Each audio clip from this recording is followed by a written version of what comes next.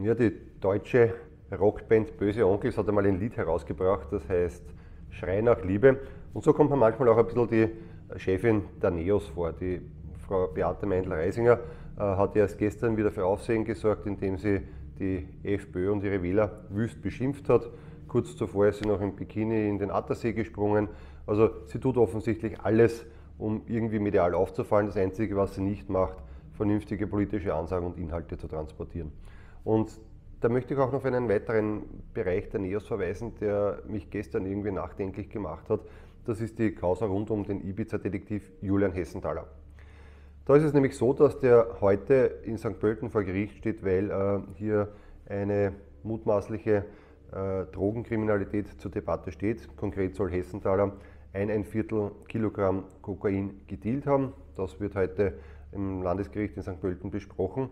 Und das würde ja per se einmal ähm, alles soweit klar sein. Wären da nicht die NEOS und die eine oder andere, die eine oder andere lustige NGO, die gestern mit einer ganz anderen Meldung für Aufsehen gesorgt haben. Und zwar haben sie allen Ernstes behauptet, dass es unglaublich ist, äh, diesen Julian Hessenthaler jetzt wegen seiner mutmaßlichen Drogendelikte vor Gericht zu stellen, weil das schlussendlich ja auch ähm, Schaden insofern bringen könnte, als dass sich niemand mehr traut, ein Whistleblower zu sein. Ja, ich habe auch geschaut, wie ich das äh, gesehen habe, was diese Herrschaften da gefordert haben.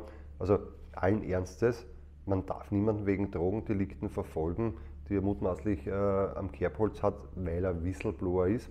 Selbst wenn der Herr Hessenthaler Whistleblower wäre, und äh, glauben Sie mir, das ist er nicht, der Herr Hessenthaler ist aus meiner Sicht ein eine Person, die überlegt hat, wie sie rasch zu Geld kommt, hat eine Videofalle konstruiert, diese durchgesetzt und wollte schlussendlich dann mit seinen Freunden und mit seinem Netzwerk dieses Video auch zu Geld machen, was möglicherweise auch gelungen ist. Das ist kein Whistleblower. Ein Whistleblower ist jemand, der aus dem Inneren einer Organisation äh, Informationen an die Öffentlichkeit bringt, wenn vielleicht irgendwo was schiefgelaufen ist oder wenn hier wirklich äh, massive Kalamitäten aufgetaucht sind, aber alles das hat der Herr Hessenthaler nicht gemacht.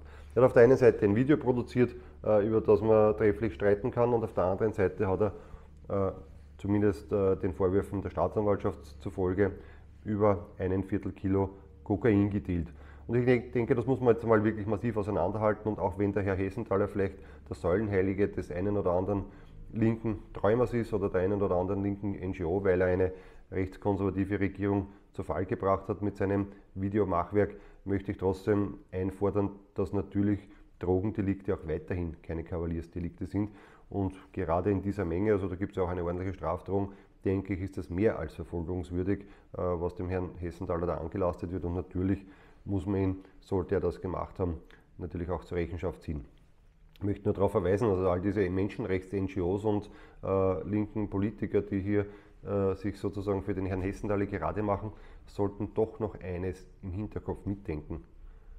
Drogen zerstören Menschenleben, Drogen zerstören Existenzen und Drogen zerstören auch Familien. Und das ist der Grund, warum wir eine sehr restriktive Drogengesetzgebung hier in Österreich haben und warum gerade dieser Bereich natürlich auch entsprechend, äh, entsprechend im, äh, im Fokus von Ermittlungen stehen muss und warum man natürlich auch hier entsprechende Strafen aussprechen muss, wenn es äh, nachweislich zu Drogenhandel gekommen ist. Das heißt, liebe Menschenrechtler, noch einmal ein bisschen nachdenken, bevor wir das nächste Mal den Mund aufmachen. Ein Drogendealer äh, kann nicht äh, zum Säulenheiligen abgestempelt werden, zu einem Whistleblower verkleidet werden, der er gar nicht ist, äh, sondern Drogen sind Drogen sind Drogen. Der Herr Hessenthal hat sich in einem Milieu bewegt, offensichtlich, äh, wo das gang und gäbe war. Dem muss man jetzt nachgehen. Natürlich gilt die Unschuldsvermutung, aber nichtsdestotrotz bin ich gespannt, was schlussendlich dann herauskommt, äh, wenn diese Verhandlung vorbei ist, wenn ein Urteil gesprochen wird. Ja, und vielleicht hat dann der Säulenheilige der Linken in diesem Lande schon mal den ersten Kratzer, weil es ist dann doch nicht so angenehm, wenn dieser angebliche Schöngeist Julian Hessenthaler, der nur politische Interessen verfolgt hat, dann schlussendlich einmal mit einer sehr, sehr deutlichen Haftstrafe wegen Drogenhandels in den Bau wandert.